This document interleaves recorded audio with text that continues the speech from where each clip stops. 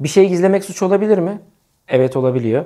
Vergi usul kanunu 359. maddede gizleme başlığıyla bir suç var.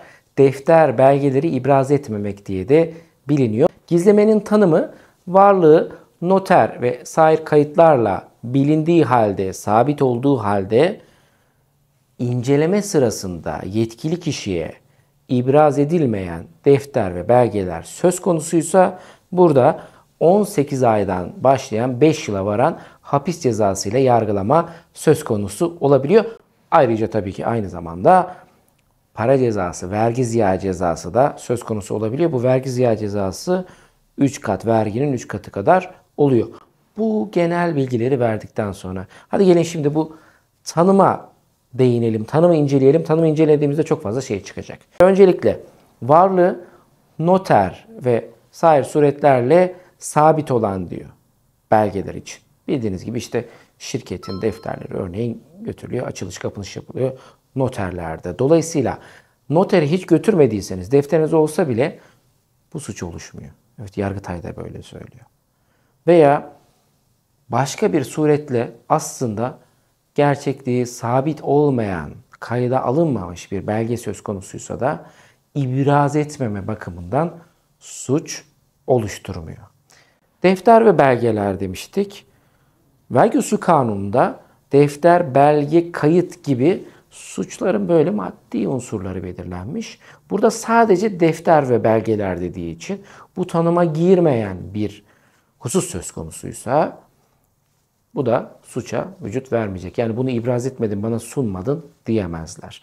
Yine tanımdan gittiğinizde vergi incelemesinin var olması lazım. Bir vergi incelemesi, usule uygun bir vergi incelemesi söz konusu değilse defter belgeyi ibraz etmeme nedeniyle de bu ceza ile karşı karşıya kalınmamış olması gerekir.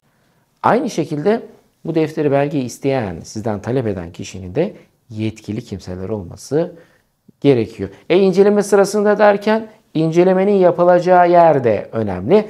Eskiden Yargıtay kararlarında çok açıkça yazıyordu. İnceleme kural olarak iş yerinde, mükellefin iş yerinde yapılıyordu.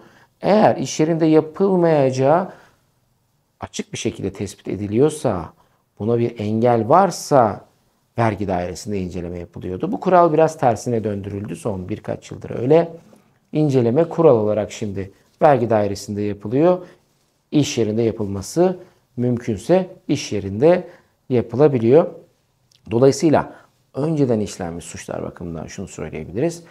İnceleme iş yerinde yapılmadıysa, iş yerinde yapılmayacağı net bir şekilde tespit edilmediyse yine defter ve belgeleri ibraz etmemek suç olarak kabul edilmeye bilir. Yine aynı şekilde defter ve belge isteme yazısı usule uygun bir şekilde tebliğ edilmiş olması lazım. Örneğin kapanmış şirketler var. Terk olmuş, resen terk olmuş şirketler var. Tasfiye olmuş şirketler var. Bunlara yapılacak tebligatlarda özel usul var. Buna dikkat edilmesi gerekiyor. Yine defter ve belgeyi ibraz etmeyen kişi kim? Ona bir bakmamız lazım. Gerçekten yetkili mi? Ona tebligat yapılmış mı? Tebligat için vergi usul kanunundaki sisteme uyulmuş mu? Bu da önemli. Tebligat demişken önemli bir şeyden bahsedelim. Mali tatilde düzenlenen defter ve belge isteme yazısına istinaden hapis cezası verilemiyor. Yargıtay'ın böyle bir kararı var. Diyor ki mali tatilde sen tatildesin. Bu belgeyi düzenlememiş olman lazım. Düzenlemen bu belge geçersizdir. Dolayısıyla buna karşı ibraz etmeyen kişi de bu suçu işlemiş olmaz. Gizleme suçunu işlemiş olmaz. Peki bir de diğer tarafından bakalım. Defter ve belgeyi ibraz etmedik. 18 aydan 5 yıla kadar hapis cezasıyla karşı karşıyayız. E bir suç hükmün açıklanmasının geri bırakılması ve erteleme sınırının altında kalabiliyor çoğu zaman. Dolayısıyla fiilen bir hapse girme söz konusu olmayabiliyor ama burada başka suçlarla birleşmesi vesaire de söz konusu olabilir. İnfaz rejimi bakımından bu önemli. Diğer taraftan bir de vergi ziya cezası, işin parasal kısmı var. Defter ve belgeyi ibraz etmedim. Defter ve belgeyi bir şekilde tespit edemedi vergi inceleme elemanı. Vergi kaybı hangi hususlarla tespit edilecek? Vergi ziya cezası, kaybedilen, kayba uğratılan vergi tespit edildikten sonra onun 3 katı kadar ceza uygulanabiliyor ama ne kadar kayıp olduğu nasıl anlaşılacak? Burada çok önemli bir hata yapılıyor. Defter ve belgeyi ibraz etmediyse bütün belgeleri sanki sahteymiş, sanki vergi kaçakçılığı, vergi ziya oluşturuyormuş gibi davranılıyor. Bu şekilde yaklaşılıyor. Dolayısıyla 3 kat ceza da buradan kesiliyor. Bakın belgeyi ibraz etti, sahteliği tespit edildi, naylon fatura düzenlediği tespit edildi. Bu kadar ağır cezayla karşılaşmıyor veya kullandığı tespit edildiğinde bu kadar ağır cezayla karşılaşmayabiliyor. Dolayısıyla burada da bir aslında e, sıkıntı, sorun mevcut. Buna ilişkin belki kanuni düzenleme tekrar ele alınabilir. Diğer taraftan yine çok önemli bir husus defter ve belgeyi ibraz etmeme fiilindeki suç tarihi bu gözlerden bazen kaçabiliyor. Şimdi vergi inceleme elemanı dedi ki yazıyı gönderdi. 2020'ye ait defter ve belgelerinizi ibraz edin.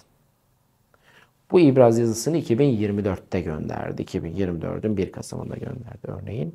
Bizim elimize de geldi. 15 gün içerisinde eğer ibraz etmezsek suç oluşmuş kabul ediliyor. Genel uygulama bu şekilde. Dolayısıyla buradaki suç tarihi çok daha sonraya taşınmış oluyor. Zaman aşım bakımından da önemli oluyor. Bu konuda da uyarmış olalım ama bu suç tarihinin tespiti, tebligatın yapılması, defter ve belgelerin belki ceza mahkemesinde ibrazı gibi hususlar çok farklı farklı kararları önümüze çıkarıyor. Özel bir husus gizleme başlığı altında bir suçtan bahsetmiş olduk. Vergi usul kanunda vergi kaçakçılığı suçları başlığı altında dikkatli olmak lazım. Maliyeden gelen tebligatları mutlaka iyi incelemek lazım. Burada muhasebecime gidiyordu, muhasebecim sorumlu diyemezseniz şirketin yetkilisi olarak siz de sorumlu oluyorsunuz. Dikkatli olmakta fayda var. Güncel mali, hukuki konularla ilgili yine böyle özel başlıklar altında da içeriklerimizi üretmeye devam edeceğiz. Kaçırmamak için abone olun, bildirimleri açın, takipte kalın. Görüşmek üzere.